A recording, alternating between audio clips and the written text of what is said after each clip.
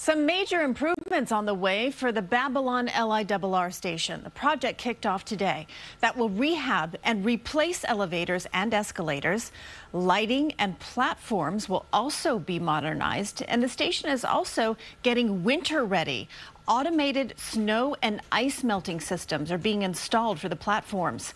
The president of the railroad says it will all be done with minimal interruption to service.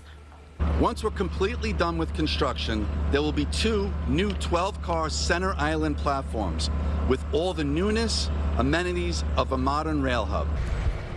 The entire project is expected to be completed by the end of 2026.